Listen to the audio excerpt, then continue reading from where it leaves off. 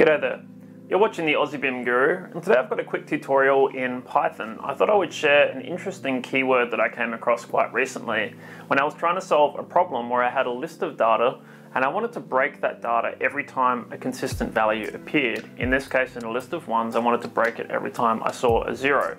Um, so to do this, I actually used a keyword I came across called yield.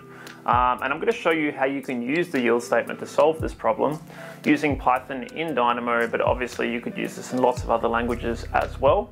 Um, today I'll be using Revit 2020 and Dynamo 2.3, but this would work in most programs that support basic Python as a language. Anyway, let's get started. So in the case that I was using this data for originally, I had a long list of zeros and ones, in this case a zero being a false outcome and a one being a true outcome. This was basically related to when particular places in a room received sunlight across the times of day. So in this case, we were working with a time step of 4, so every 15 minutes we were checking this. And the challenge was that we had to only count periods of sunlight where we had at least one continuous hour, so 4 samples in a row.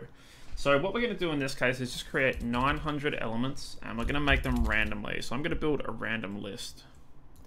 I'm going to make 900 random numbers, and I'm going to round them as well, because the round the, the random node typically returns some something in the range of 0 to 1. So we're just going to round it up or down, whichever one is closest, and now we're just going to have a random list of ones and zeros. I'm then going to chop this, chop this list up into sublists in this case. So I'm going to take this list of random numbers, and every 90 values, I'm going to chop it. So in this case, I should end up with 10 lists, so it should be 10 lists of 90 numbers, and there we go. We have 10 lists, so index 9 is the last list. And from this, we're going to split this list every time we get to a zero, and we're going to exclude the zeros as well, and we're going to be using the Python yield statement in this case to great effect. So in this case, I'm going to make a Python script, and I'm going to make two inputs. The first input is going to be our list of lists, and the second input is going to be what we're splitting the values at. In this case, we're going to split the values when we hit a zero. So this is our second input, and our first input is going to be our data. So I'm going to edit my Python script, and I'm just going to delete everything in this case. Um, so what I'm going to do first is I'm going to define a function that turns my elements into a list if they're not in the form of a list. So I'm just going to call this function toList, and this is a really common thing that I do. Um, and there's going to be an input that we refer to within the function. And I'm going to say that the result I'm dealing with is going to be just the input if it's already a list. So I'm going to check if it is an instance, and I'm going to say an instance of input type list in this case. This is a really common and very useful function. Now I'm going to do input, sorry, if is instance. So I'm, I'm basically reveal, uh, re reconstructing an if statement in the reverse order in this case. Um, if you're not quite sure how to do this, definitely check out my Python quick tip series. Um, I'm sort of creating this under the assumption you sort of understand the basics of Python. If it's not a list, I'm just going to say that it, it is actually the input inside a list. And then I'm just going to return, in this case, the result. So in this case, I'm just returning a result directly. So it's not quite how the yield statement is going to work. We're going to use the yield statement as well though, which is quite different. So what we're going to do in order to do this is, well, first of all, we're going to go and collect our input. So I'm just going to call my input values, and I'm going to say that I'm going to apply the to list function across them at input zero. So this just makes sure that my input is in the form of a list. So in this case, um, it will turn, it will keep this as a list because it already is. But if I was feeding in just say one set of data, then the input wouldn't be a list in that case. I'm also going to create something to write my result to, just an empty list. But really mostly what I'm going to be doing here is applying a function to each of these elements. So I'm actually going to go back and write a new function. Um, in this case, we're going to create what's called a lazy iterator. So in this case, the yield statement is essentially what they call a lazy function because essentially it keeps going, then it does something, and then it keeps going after that. So we're going to define a function. I'm going to call it splitter because it's going to split my data every time it hits a zero. I'm going to have two inputs. One of them I'm going to call seq, which is sequence. And I'm also going to say that the split value that we're dealing with um, is by default just going to be equal to zero. So if there's no input specified in this function, it's going to be implied that value is zero. After this, um, I'm going to essentially be defining my function. So I'm going to add just one value of the split value to the end of the total element that we work across. In this case, we're going to apply this function to each sublist.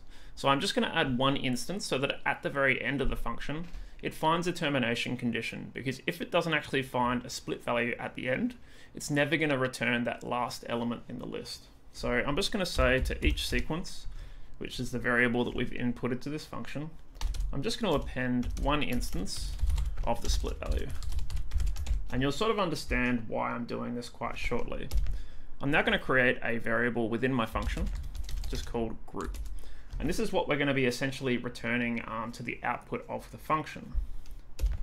I'm then going to be taking for each item in the sequence, so I'm working across each item in the list one by one, um, remembering this is going to be our sub list, So in this case, I'm going to be checking something. So I'm going to tab insert. I'm going to say, in this case, um, if the number is not equal to the split value. So if we're not dealing with a zero in this case, I'm going to append this number to that, that group that I made. So in this case, I'm just going to append it to, I'm going to append number to group. So if that item isn't a zero, I'm going to include it in the group variable. At the moment, we haven't returned this group variable. So in this case, I'm also just going to say otherwise for that variable, for group, I'm going to yield that group. So now we're using the yield statement. Now what is this going to do? Well, in this case, this is actually going to go and append the current state of group to the output of my function. So the yield statement essentially allows you to just throw things at the end of a function without ever having to return anything. The return is implied as what you're yielding the element to. So it's a really handy little function when you want something to just keep going and going and going. You're not trying to build up a list to return at the end. It's just a great way to lazily build up an outcome. Um, so in this case, I'm just going to say after that, the group resets. So essentially we've built our group full of ones. Once we hit a zero, the group is reset, but we add what was in the group at the time to the output of this of the function. So once we've done this, I might just save this function. And now we're going to actually run across our list of lists, and we're going to apply that splitter function to each sublist. So we're going to use that yield statement across each one.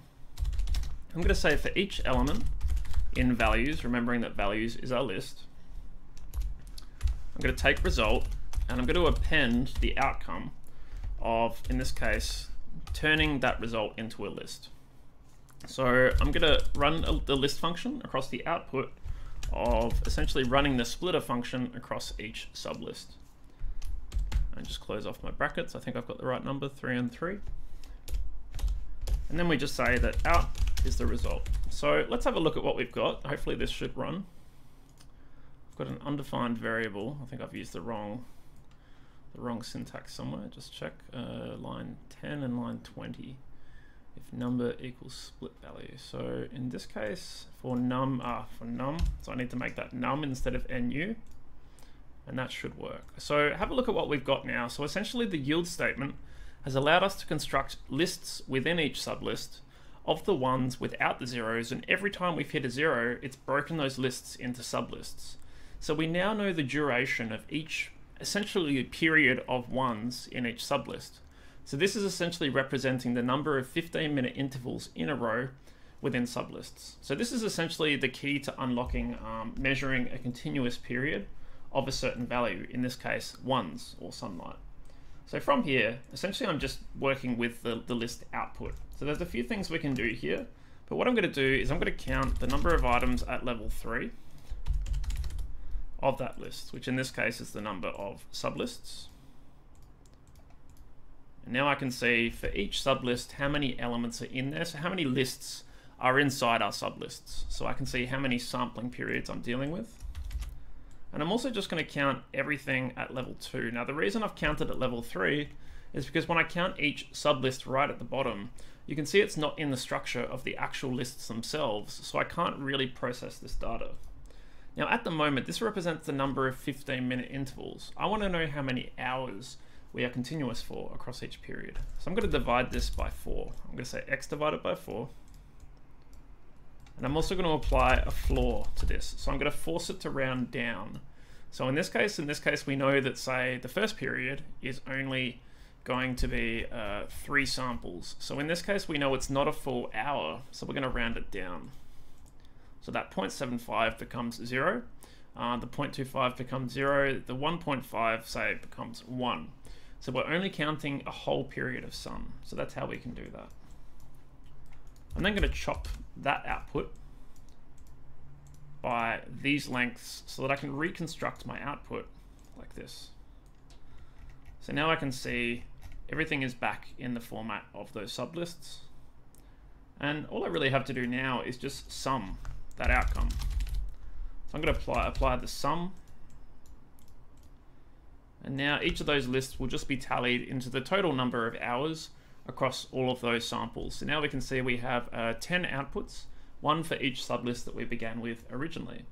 And now we know how many continuous hours of sun we receive during the day that last for at least one continuous hour. Now you could apply this to different intervals. For example, some cities actually test whether you have 15 minutes of continuous sun, so you may need to do, say, every minute. Um, and this logic can be reconstructed in other programs like Grasshopper in order to process continuous intervals across a sample of elements. So hopefully that was an interesting example of a keyword in Python that you might not have been familiar with, and you may find other uses for the yield statement or a lazy iterator in future functions that you write.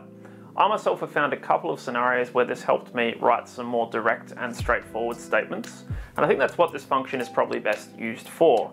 I know there are some better ways of doing this, some more computationally or um, programmatically efficient ways of writing these sort of statements than using yield, um, but I found this is a really quick and easy way when you're not so worried about the optimization of your code. Anyway, if you're not already following and subscribing to the channel, uh, feel free to do so, and I look forward to seeing you in future videos like this one. Thanks, take care, bye.